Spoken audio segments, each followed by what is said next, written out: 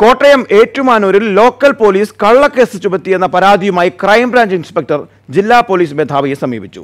നടുറോട്ടിൽ അക്രമി സംഘത്തിൽ നിന്ന് മർദ്ദനമേറ്റിട്ടും രാഷ്ട്രീയ സമ്മർദ്ദത്തിന് വഴങ്ങി ലോക്കൽ പോലീസ് കള്ളക്കേസ് എടുത്തെന്നാണ് ക്രൈംബ്രാഞ്ച് യൂണിറ്റിലെ ഇൻസ്പെക്ടർ ഗോപകുമാറിന്റെ പരാതി. എന്നാൽ ഭർത്താവിനൊപ്പം ഹോട്ടലിൽ ഭക്ഷണം വാങ്ങാനെത്തിയ യുവതിയുടെ വീഡിയോ അനുവാദമില്ലാതെ ചിത്രീകരിക്കാൻ ക്രൈംബ്രാഞ്ച് ഇൻസ്പെക്ടർ ശ്രമിച്ചതാണ് പ്രശ്നങ്ങൾക്ക് വഴിവെച്ചതെന്ന് ലോക്കൽ പോലീസും വാദിക്കുന്നു.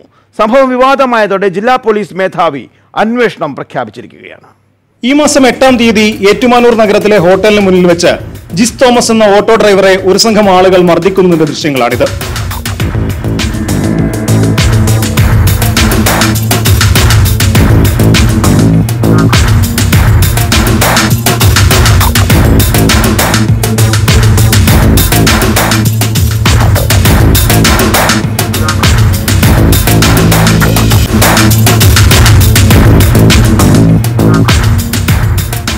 ഇതിന് പിന്നാലെ സ്ഥലത്തുണ്ടായിരുന്ന ക്രൈംബ്രാഞ്ച് ഇൻസ്പെക്ടർ ഗോപകുമാറിന് നേരെ അക്രമി സംഘം പായുന്നതും ദൃശ്യങ്ങളിൽ കാണാം.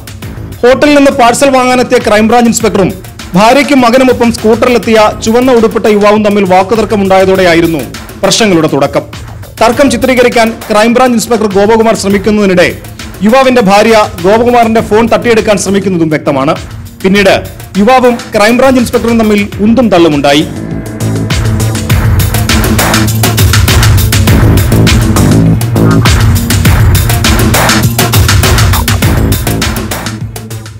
ഇതിനിടയിലാണ് ഇവിടെ എത്തിയ ഓട്ടോ ഡ്രൈവർ പ്രശ്നത്തിൽ ഇടപെടുന്നത്. ഈ സമയം മറ്റൊരു വാഹനത്തിൽ സ്ഥലത്തെത്തിയ യുവാവിന്റെ സുഹൃത്തുക്കൾ ഓട്ടോ ഡ്രൈവർ ജിസ് തോമസിനെയും ക്രൈംബ്രാഞ്ച് ഉദ്യോഗസ്ഥൻ ഗോപകുമാറിനെയും സംഘം ചേർന്ന് മർദ്ദിക്കുകയായിരുന്നു. മർദ്ദനത്തിന് പിറ്റേന്ന് തന്നെ ക്രൈംബ്രാഞ്ച് ഇൻസ്പെക്ടർ പരാതിയുമായി ഏറ്റുമാനൂർ പോലീസിനെ സമീപിച്ചെങ്കിലും ഈ പരാതി പിൻവലിപ്പിക്കാൻ ഉന്നത ഉദ്യോഗസ്ഥർ ഇടപെട്ടെന്ന് ആരോപണമുണ്ട്. ഇൻസ്പെക്ടർ പരാതി പിൻവലിക്കാതെ വന്നതോടെ ദിവസങ്ങൾക്കു ശേഷം ഇൻസ്പെക്ടറെ മർദ്ദിച്ച യുവാവിന്റെ ഭാര്യയുടെ മൊഴിയെടുത്ത് ഇൻസ്പെക്ടർക്കെതിരെ പട്ടികജാതി പട്ടികവർഗ അതിക്രമം തടയൽ നിയമമനുസരിച്ച് ജാമ്യമില്ലാ വകുപ്പ് പ്രകാരം കേസെടുക്കുകയായിരുന്നെന്നും പോലീസിലെ ഒരു വിഭാഗം ചൂണ്ടിക്കാട്ടുന്നു.